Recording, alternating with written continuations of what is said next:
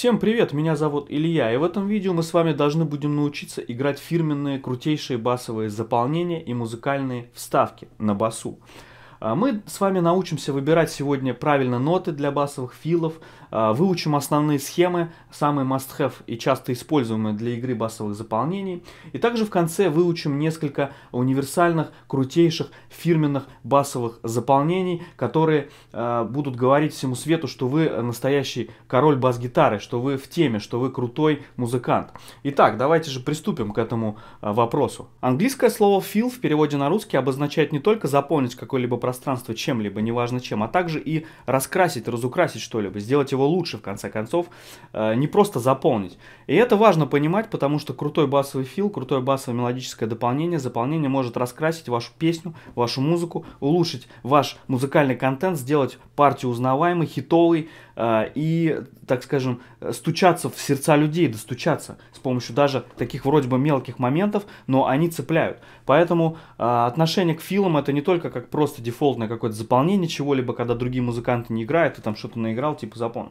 Но к этому, к этому можно относиться и как э, к краскам, как к инструменту музыкальной выразительности и писать целые басовые картины при помощи этих филов. И крутое владение филами сделает вас, так сказать, э, очень ценным ценным музыкантом для любой группы. Первый шаг. Где же играть басовые заполнения так, чтобы они имели больше импакт и не вредили всем остальным и не мешали музыке в целом? В 90 плюс процентов случаев в поп-рок музыке басовое заполнение имеется в виду небольшая мелодическая вставка, которая играется в конце четырехтактового или восьмитактового музыкального предложения, в конце куплета или припева, в конце квадрата, либо э, как склейка между частями песни. Например, это может быть бридж, куплет и тому подобное. Как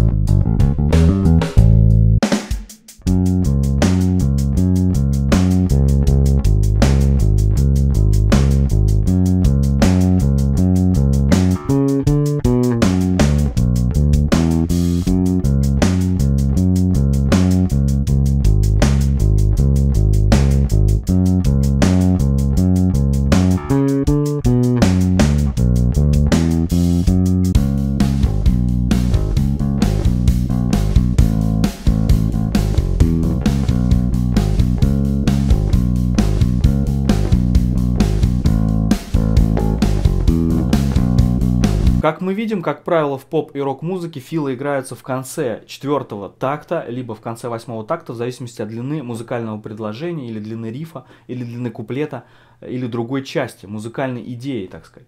Но это что касается только поп-музыки, в джазовой, фьюжн-музыке дела обстоят по-другому. В джазе все гораздо сложнее, там филы могут играться постоянно, заполняя все пространство, оставленное мелодией. Шаг номер два. Выбор ритма. И здесь бы я поставил акцент, потому что при работе с филом правильный, э, ровный ритм это самое главное. Если уж вы взялись, взяли на себя такую ответственность, собрались с смелостью, всю свою смелость и решили сыграть крутой какой-то великий фил, великое заполнение, какую-то мелодическую фразу, то вы должны это сделать идеально ровно. Если вы выберете неправильный ритм, э, криво сыграете, это будет крах просто и боль.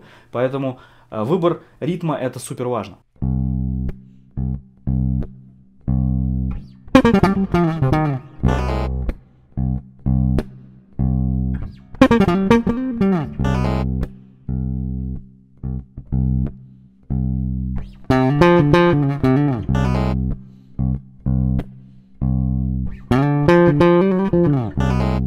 Очевидно, первый пример это просто боль, и можно выкидывать сразу на мусорку, абсолютно не годится, это просто кровь из ушей и абсолютный крах вообще всего. В отличие от второго примера, где я выбрал неправильно, абсолютно рандомные вообще ноты, тыкнул на грифе, первый попавшийся, даже не в тональности, но здесь, э, при, э, даже несмотря на то, что выбран неправильная нота, мы сыграли более-менее ровно, и тут можно сказать, я вообще-то фьюжн, музыкант джазовый, я все знаю, как играть, я сейчас фьюжн сыграл, и все, как бы, и все, с вас как бы вопросы снимутся сразу. То есть, здесь это не так страшно, если вы даже выберете немножко не те ноты, э, но при этом ровно красиво сыграете, это будет не так страшно, если вы не попадете полностью в ритм. Поэтому ритм здесь очень важен, правильный выбор ритма. Шаг номер три. Какие ноты выбирать для своих крутейших басовых филов? Э, давайте возьмем небольшую аккордовую последовательность простую и попробуем заполнить э, конец четвертого такта, место как раз для фила, разными нотами и посмотрим, как это будет звучать.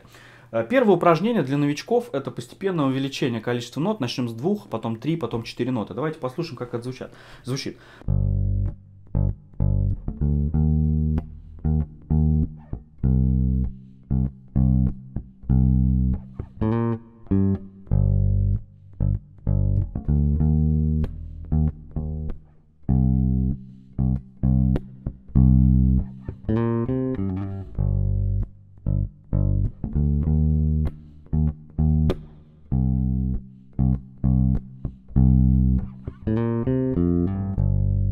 Это были самые простые варианты басовых заполнений, но они помогут новичкам сдвинуться с точки и начать играть уже свои заполнения на основе этих, и также лучше понимать эту тему, тренироваться самим дома, э, запоминать, как это звучит и вбивать в руку.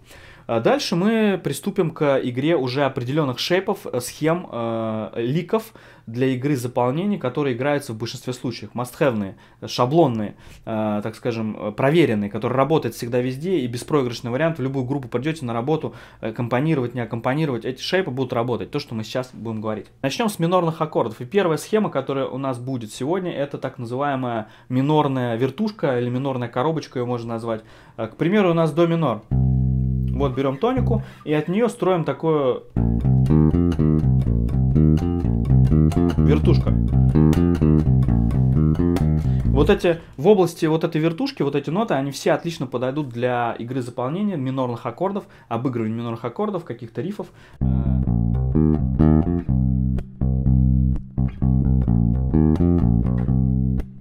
Дальше мажорные аккорды. И так называемая мажорная вертушка, ее тоже можно найти. До мажорный аккорд тоника.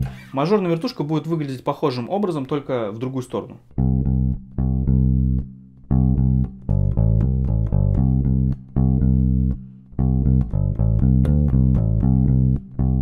Мажорный бокс. Вот такие ноты также отлично подойдут для заполнения, для игры каких-то вставок э, на мажорные аккорды. Значит, две, э, две схемы, два бокса. Значит, минорная вертушка, а тоники, вот эти ноты и мажорные.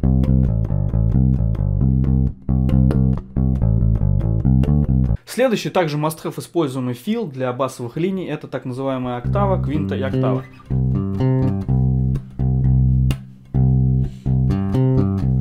Таким образом, а, также за счет своей универсальности и непривязки к аккордам а, очень рабочая схема. Давайте попробуем на примере а, аккордовой последовательности, которая у нас была, попробуем сыграть вот этот лик на последний четвертый такт.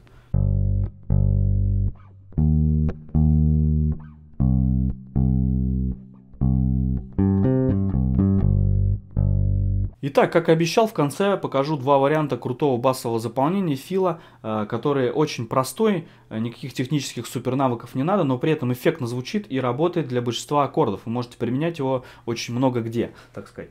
Э, значит, давайте сначала с мажорного аккорда возьмем до. К примеру, у нас как звучит само заполнение. Берем какой-то аккорд, обыгрываем его там.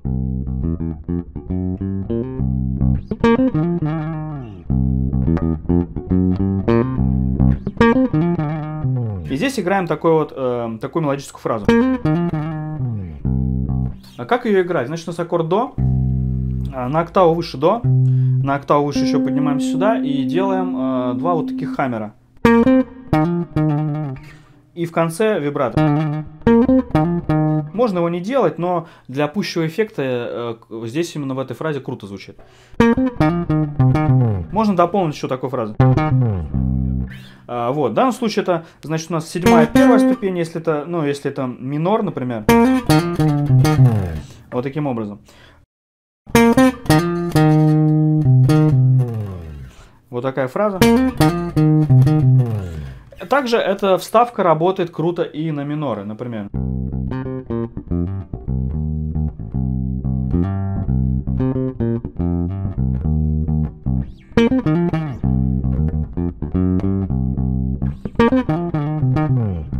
То есть и мажорный аккорд можно обыграть э, и заполнить пространство, играя вот эту мелодическую ставку. Также доминант аккорды можно обыгрывать. То есть супер универсальная вещь. К примеру, если у нас здесь было до, с, э, переместим на ре.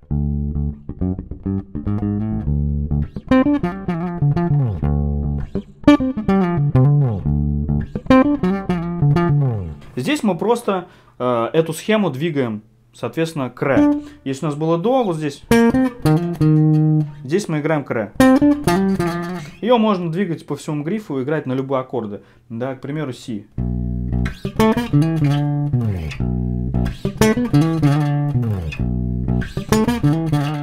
Ну, таким образом. Схема работает и очень кру- круто можно ее где-то использовать. Вторая вариация этого фила выглядит следующим образом. Берем также до.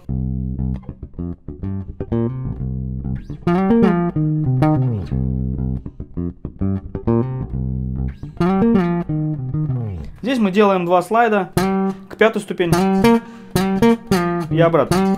Два слайда. И заполнение такое.